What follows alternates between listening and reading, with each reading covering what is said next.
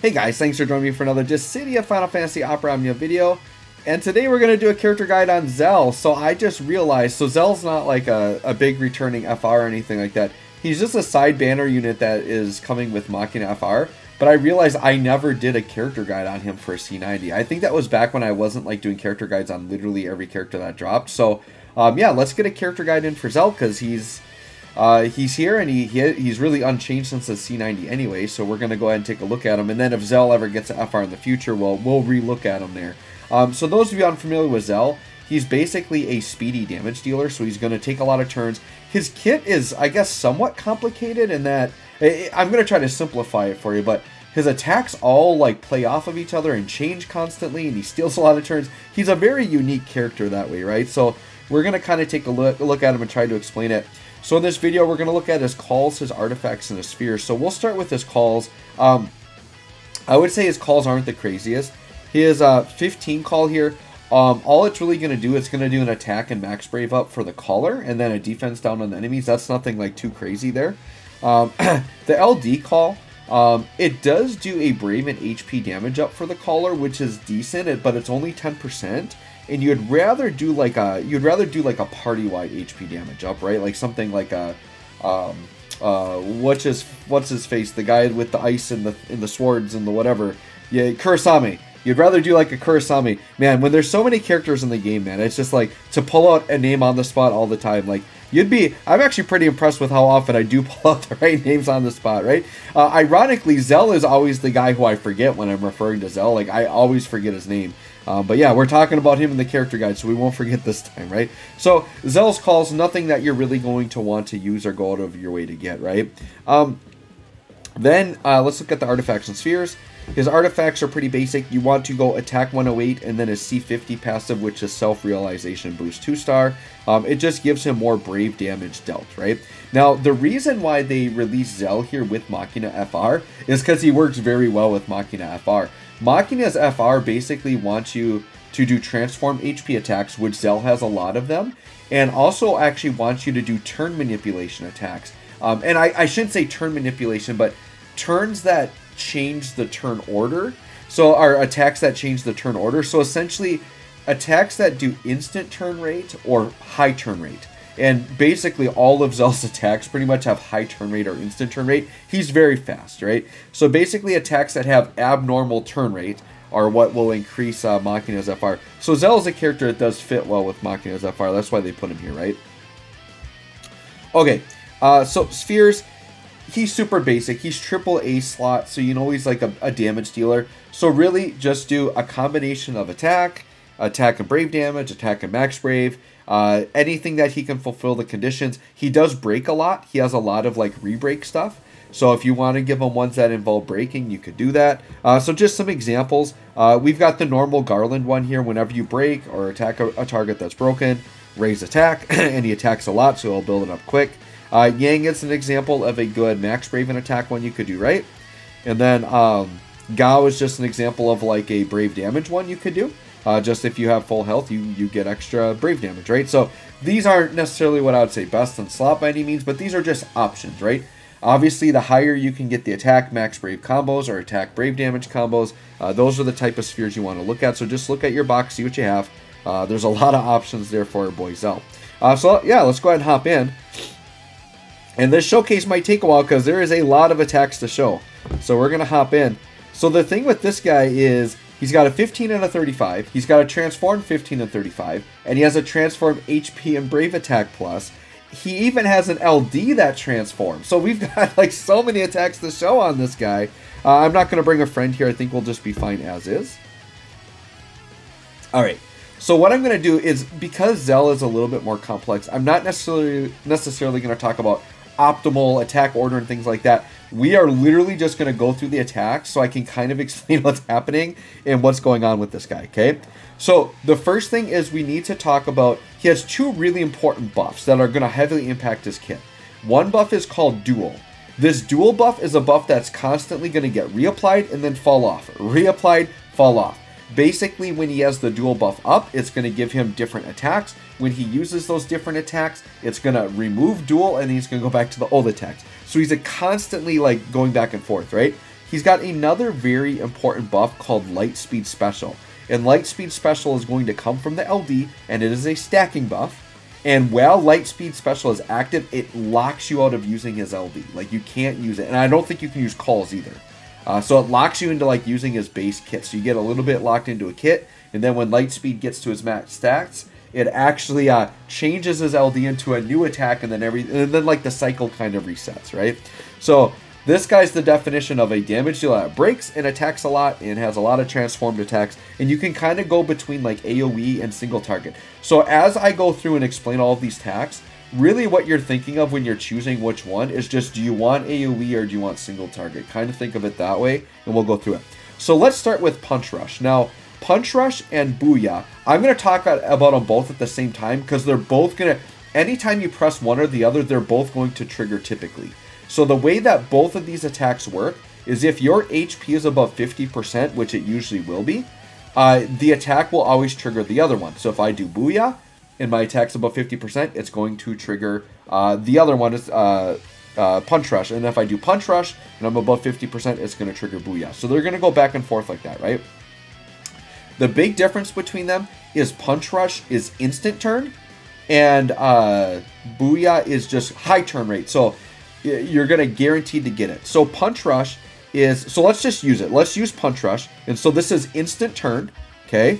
So we're going to use that. It's instant turn. And then it's going to trigger Booyah. So we just did the 15 and 35 at the same time. And that's because we are above 50% HP. So Punch Rush, uh, it does the attack free instant turn. Um, and then it gives him the dual buff, which we talked about. So you're going to notice that now Punch Rush and Booyah change into Burning Rave and Meteor Barrage, okay? And so that's what the Booyah buff, or the dual buff does. Then we get a buff called Balamb's Rowdy Punk. And Balamb's Rowdy Punk is a big attack and max brave up for Zell, and then party attack up and max brave up. So pretty good, right? Um, so we've got that. Or sorry, those are different buffs. The Balamb's Rowdy Punk is just attack up and max brave up for Zell. Okay, and he does have it at quest start, so not a big deal. Then on Booyah, which was the other attack that we just saw, um, that's actually a lightning elemental attack. Um, and he gets a free ability use and free turn. Yeah, and it, it triggers the punch rush, right? So it's very, very good. And then gets the duel again, and then the Balamb's Rowdy Punk, um, and then physical attack up. So uh, and it does a defense down. So both of them will trigger defense down. Um, it's just that Booyah will trigger physical attack up. The big thing is because one will always trigger the other. What you want to look at is would you rather have the instant turn rate or would you rather have some of the other benefits of Booyah? But they're going to trigger back and forth. So kind of just decide which one you want to use um, based on the situation. Just try them out and see what they do. So then what we have is we've got Burning Raven Meteor Barrage now, right? So the big thing here with these is just remember Burning Rave is going to be more the AoE attack, and Meteor Barrage is going to be more single target. And basically all that these are is they're just bigger versions of the attacks, and they just remove the dual buff, so we'll lose it, right? Um, and the dual buff doesn't really get any other stats, it's just there uh, to basically uh, help you get those stronger. Or no, it does have buffs with it, sorry. It has attack up, Brave gains up, crit damage up, Brave damage up, and HP damage up. So it does apply a lot of buffs with it. So the whole idea with him is you're a little bit weaker attacks, but you're going to apply dual right away. And then with dual, he's got a bunch of stat buffs, and he does the bigger attack, right? So let's do Burning Rave. So this is the AoE one. Okay. You see his damage, though, like, isn't that crazy right now. Um, he's just not the craziest damage dealer, right? So we did that, and it removed dual. So now when he comes back, he'll just revert back to normal. Uh, let's go ahead and we are going to quick prayer Zell so we can get him some turns uh, in a row here. Okay, and then we'll just attack through. I guess I could have used uh, Lunafreya's BT effect to make him look a little bit better, but we'll just do it this way. Okay, and then we got Rem up. So then what we're going to do with Rem is we're actually going to Cure to get a little bit of Brave, Brave, Brave gains here. Okay. Perfect. And then we are going to swap turns into Zell, so we show them off, and we're going to pull all three of those turns up front. Okay. And then what I think I want to do, oh, we're not quite to the, all right, what I'm going to do is I'm going to use Punch Rush now, which is a free, so you can see he gets a free ability use now, which is pretty good. So we're going to do Punch Rush, which is going to be instant turn, or sorry, that free ability use came from Rem. So Rem did the free ability use. Okay, So we've got that. Now what we're going to see is we're going to have the EX called different beat. Now, there is something big here. You typically want to use different beat while you have dual. If you don't have dual on, like you can use it and you'll get dual back. But if you have dual on when you use it, um, he's going to get the special uh, he's going to get the special HP plus attacks, right? So let's do different beat here. See what kind of damage we get. Okay, yeah, that's not great damage. 262 with 158 overflow. Um, and then now we get Burning Combo and Meteor Combo, right? So now these are HP plus variant attacks that you can do. Um, and so, sure, let's go ahead and do Burning Combo.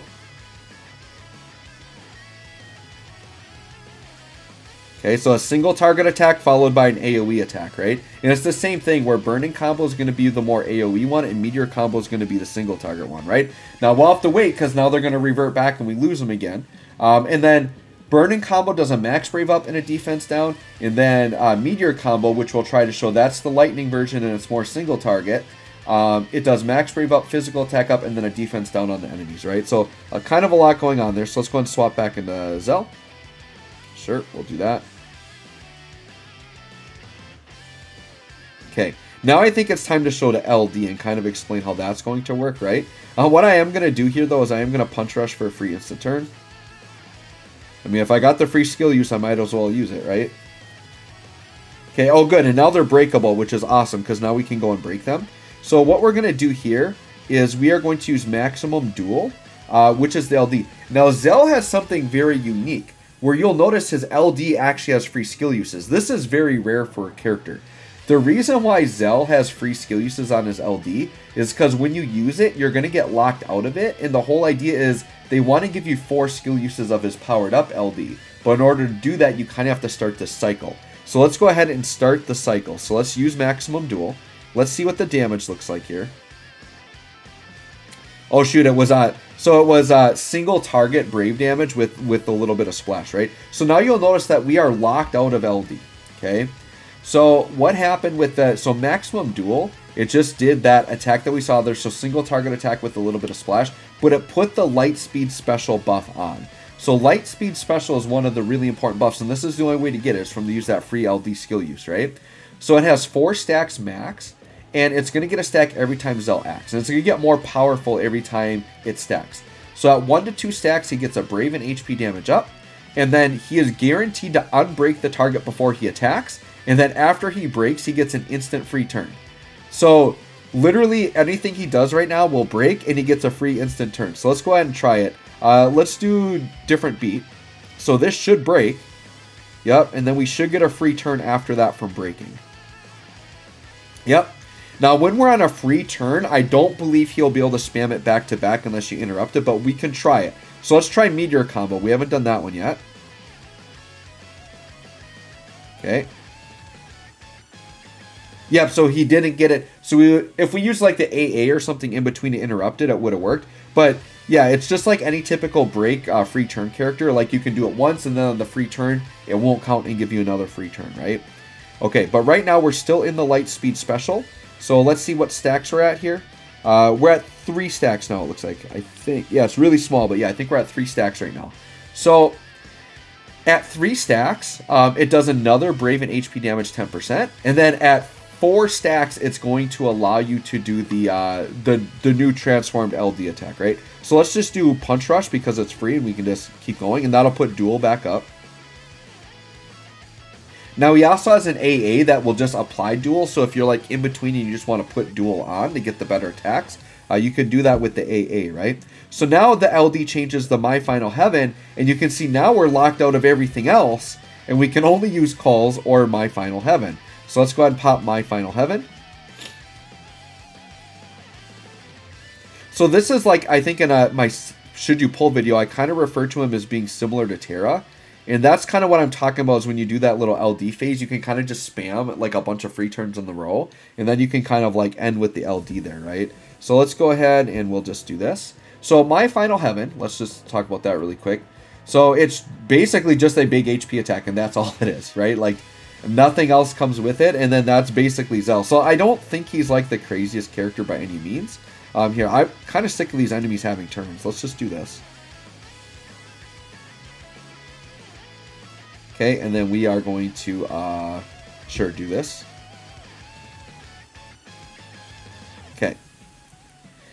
Alright, so that's basically Zell, but I'm going to try to, like, re-summarize it. I think I've kind of showed everything here that needs to be shown. Um, and you can see the LD back to a free turn, so I could just do that for free, but once again, then you're going to kind of go into that getting locked, right? So just remember that the 1535 They'll always trigger each other after each other as long as you're above 50% HP. They both are going to apply dual. When you get dual, then your attacks are going to change the Burning Raven Meteor Barrage.